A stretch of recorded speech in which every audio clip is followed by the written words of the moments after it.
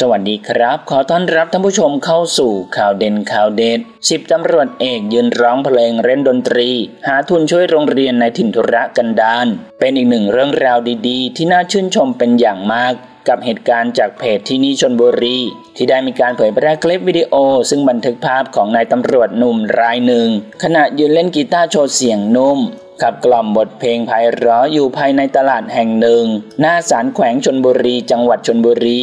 ซึ่งตำรวจนายนี้ก็คือสิบตำรวจเอกพลนิกรบุญทองอ่อนตำรวจสันติบาลที่ได้ใช้เวลาว่างในวันหยุดราชการ มาทำประโยชน์เพื่อสังคม ได้ร้องเพลงเปิดหมวกเพื่อหารายได้ ไปช่วยเหลือโรงเรียนห่างไกลถิ่นธุรกันดารที่ขาดอุปกรณ์การเรียนการศึกษา